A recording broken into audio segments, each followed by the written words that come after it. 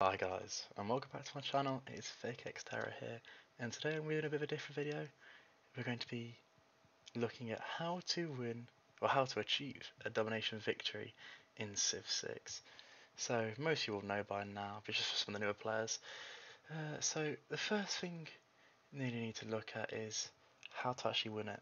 Now, some of the newer players don't understand that you don't actually have to conquer every city on the map, or every city of a civ, you just actually have to take the main capital of the rival nation. And then once that's all done, you achieve the victory. So next we're going to look at some of the civs that is easier to win on domination. We'll look at Alexander the Great of Macedon.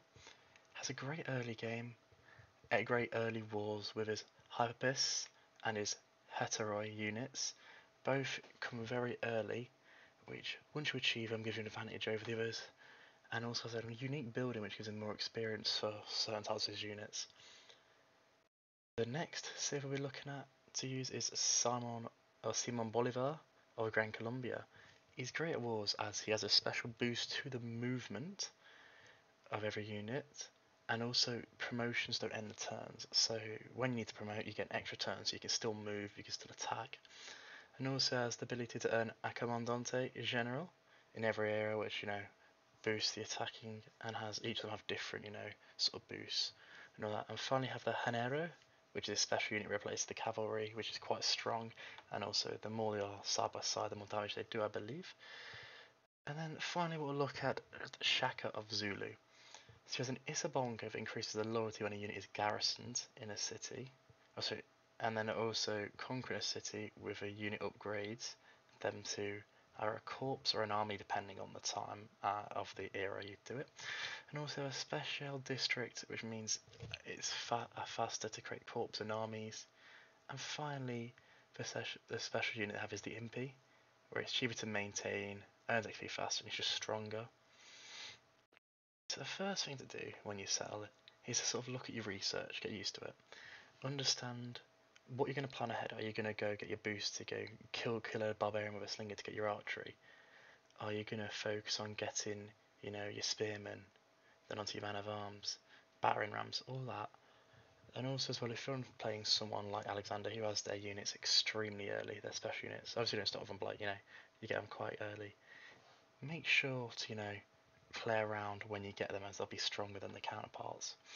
And a little trick as well, if at the start you are looking for your enemies or your opposition civs you want to invade, when you put a settler down, you can actually see if they're loyalty per turn, if there's an opposing city nearby, as you can see here. But then obviously, you won't actually, you don't actually have to see them. You can just do that without seeing them. Next thing we'll be looking at is the actual loyalty when attacking and taking over cities.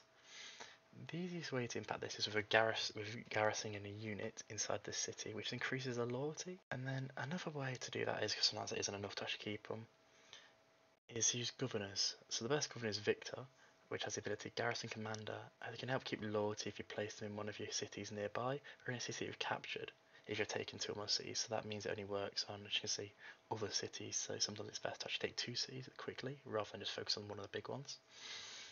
And finally, the last way to increase your loyalty is of government cards, such as the Limitanei card, which increases loyalty by 2 if a city has a garrison unit, and later on you'll unlock the Praetorium, which gives an extra 2 loyalty for governing situated in the city. So actually the army building. Some people build an army, attack, take out a civ, and then actually just delete the army. Or like don't, you know, use a lot of them, kill some units because of the gold maintenance. But keeping them is very important because when you can actually upgrade them, they actually keep that all the way through. And having that upgrades can do quite a lot, because actually like 7 combat strength can mean that even if they're like an era behind the upgrades, they can still do a lot of damage. And it's a bad idea just you know, get them gone, keep the same you want, because the same warrior you actually start off with, you can keep upgrading all the way to the end to be a mechanized infantry at the max level, meaning it's so much harder than any new infantry that's just spawned. And even like bombards, uh, you can shoot from have you know shoot twice rather than once. That gives us so much more advantages advantage compared to others. So if you lean into the power spikes now, when obviously you get your special unit, you get an earlier research on a tech before the civs. that gives you such a big power spike. You have to play around those, especially on the harder difficulties. It becomes so much harder to play around them. So make sure you do well with them and really pay attention to what's going on. Because if you have a 1v1 with your unit compared to the others, you know, if you've got the next up new tech of a, I don't know, a archer out of a slinger, there's so much more damage there, so much better. And obviously be very careful because you might not understand all the civs yet, but make sure to find out what their special unit is because if they get it the same era, you'll think you've got the power spike. You actually don't. And if you are still behind then on that power spike, you'll be nearly two behind on it and you do so little damage to the whole thing. So, put it the conclusion. Start picking easy civ. Make sure you know what you're doing. Make sure to train up a decently sized army. You know, get your archers, maybe even a battering ram if it's got walls, a siege tower later on. And obviously as it goes further and further, just keep up to date with that. Loyalty is a massive thing, so make sure you get the right governors.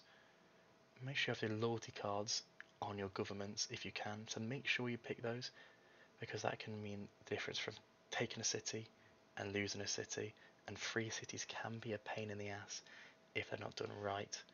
And then yeah, keep your army upgraded, keep producing, keep upgrading, and yeah, power spikes. And if you do all that right, you'll be great and you'll achieve this. Though its face may change throughout the ages, history is written from the hand of the victor.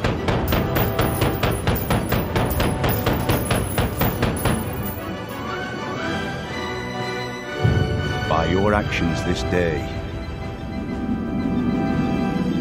you ensure our people a glorious tomorrow.